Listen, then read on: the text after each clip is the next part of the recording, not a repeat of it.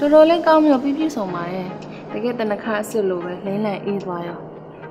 အရင်ကနေပေါင်တာဖြစ်သွားတာဆိုတော့အစီလည်းမပြန်တော့ဘူးပြီးတော့ natural လုပ်လည်းဖြစ်ချင်တယ်ဆိုတော့ပပလေးလိမ့်လိုက်ပါ။ဘာဖြစ်နေကြလဲဆိုတော့ကျွန်တော်ဆိုလို့ရှိရင်ဘာဖြစ်သွားလဲဆိုတော့ဟို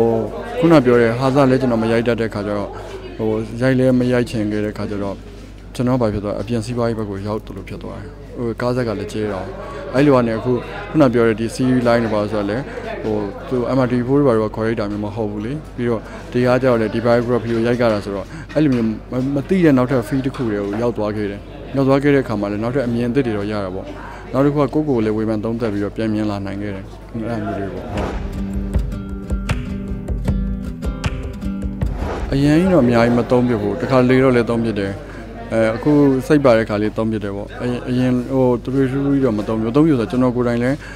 အဲ့လိုမျိုးတွေမသုံးတတ်တဲ့ခါကျတော့ပိုဆိုးတော့ဟုတ်အဲ့ဒါလည်းခုနပြောသလိုပေါ့ဟိုအခုအေးအေးဆေးဆေးနေနေချင်လာတယ်နေတတ်လာတယ်အရင်လိုမျိုးလှက်လက်လက်တွေမလုပ်ချင်တော့ဘူးအဲ့ဒါလေးကွာလာတာပေါ့ဟုတ်အဲ့ဒါတော့ဒီလိုပြကျွန်တော်ချုပ်ပြေးသက်တွေကကျတော့ကျွန်တော်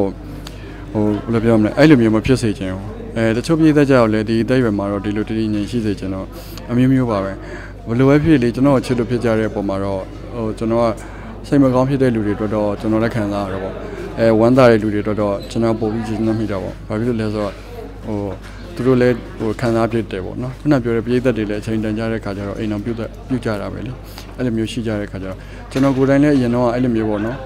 ဟိုဒီအချင်းနဲ့ပတ်သက်ပြီးတမို့မထားတတ်ခင်တော့အဲ့လိုမျိုးပြောင်းလဲနေတယ်မျိုးမျိုးအဲ့လိုမျိုးပေါ့ပေါ့ပါနေခဲ့ကာလတစ်ခုရှိခဲ့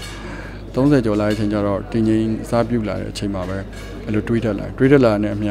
နောက်တစ်ခုကအသင့်တယ်လို့တွေးမိလို့ချပြလိုက်တာနောက်တစ်ခုကကျွန်တော်မလိန်ချင်ဘူးမလိန်ချင်ဆိုတော့ကျွန်တော်ကိုယ်တိုင်ကလည်းလိန်အောင်မကြိုက်ဘူးမကြိုက်တဲ့ခါကျတော့ကျွန်တော်ပြည့်သက်ကိုလည်းကျွန်တော်မလိန်ချင်တဲ့အတွက်အဲ့လိုပြောပြလိုက်တာပေါ့ဟုတ်တယောက်နဲ့တယောက်နားလည်မှုကတော့ရှိပါတယ်ဟိုကျွန်တော်နားလည်မှုပေးရတော့ပုံများပါတယ်ဟုတ်အဲ့လိုမျိုးပါဟုတ် ဘာကွာဝလဲဆိုတော့20ကျော်တော့နားလည်မှုကကြတော့အရန်ကျန်းနေဗျဟိုဟိုနေပေါ့ဘယ်လိုပဲ given date အရန်ရှိတယ်နင်ဒီလိုဆိုငါဒီလိုဆိုတဲ့ပြိုင်ဆိုင်မှုတွေလည်းရှိတယ်အခုကျတော့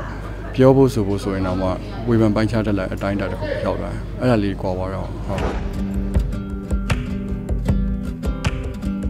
အဲ့ဒါလည်းလိုပါသေးတယ်ဗျဘာလို့လဲဆိုတော့အနုပညာတစ်ခုကိုစူးစမ်းနေတဲ့လူတစ်ယောက်ဖြစ်တဲ့ခါကျတော့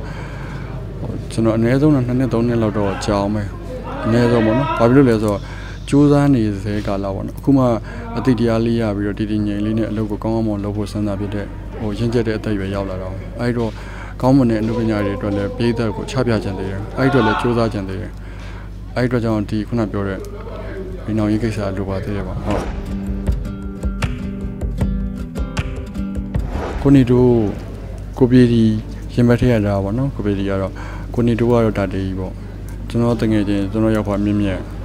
အဲရသေးတယ်နော်နောက်ကျန်တဲ့လူတွေကတော့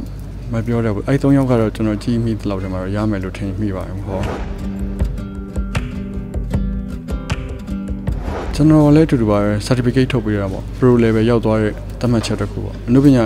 gout မှာလည်း gout ရိုက်လို့ရှိရင် handicap ဘယ်လောက်ရှိလဲအဲ့လိုမျိုးမေးကြတာပဲအခုကျွန်တော်တို့ဒီအနုပညာမှာဆိုလဲ academy ဘယ်နှစုရဘူးလဲပေါ့အဲ့လိုမျိုးမေးကြတော့ဘယ်နှကားရိုက်ဘူးလဲလို့မမေးမှမမေးကြတာအဲ့လိုမျိုးကြည့်ကြတော့ level တစ်ခုနဲ့အဲ့လိုမျိုးဆိုတော့